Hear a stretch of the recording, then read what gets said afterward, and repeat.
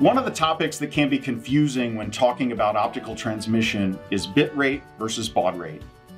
Bit rate refers to the amount of data that can be transmitted between two devices per unit of time, usually per second.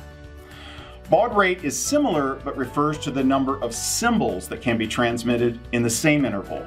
Let me explain further. Bit rate and baud rate apply to any data transmission regardless of the medium.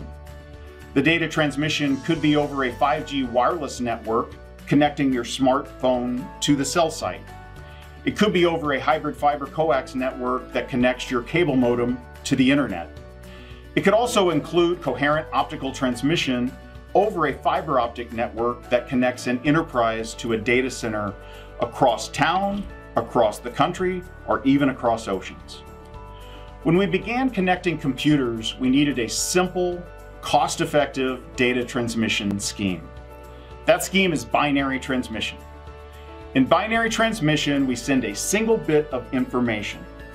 In the case of binary transmission with fiber optics, we turn on a laser to indicate a 1 and we turn it off to indicate a 0. If we do that at a billion times a second, we can achieve 1 gigabit per second transmission. If we pulse the laser even faster at 10 billion times a second, we achieve 10 gigabits per second. This is in fact the transmission bit rate. With a binary transmission scheme, this also happens to be the baud rate. But are the bit rate and the baud rate always the same? No. In fact, except for binary transmission, the bit rate and the baud rate are never the same. So what if we could not only turn the laser on and off, but we could also change its amplitude or its phase?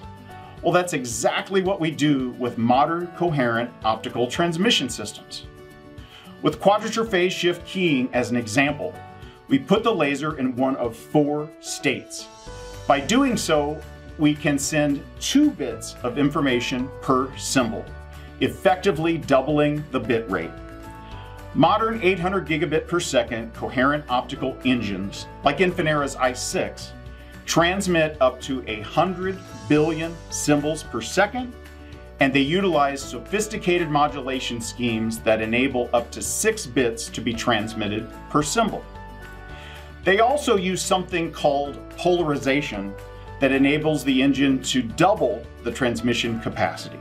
When we put that all together, we achieve over a terabit per second of raw transmission. However, a portion of this data is required for internal use, for things like framing, overhead, and forward error correction. When we subtract that, we get usable bit rate of 800 gigabit per second. The baud rate is still 100 gigabaud, or 100 billion symbols per second. So there you have it. Bit rate refers to the number of bits that can be transmitted between two devices per unit of time, usually expressed in bits per second. The baud or symbol rate refers to the number of symbols that can be sent in the same amount of time.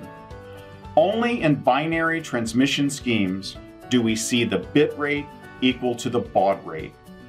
For other, more complicated transmission schemes, we always expect the bit rate to exceed the baud rate because each symbol carries more than one bit of information.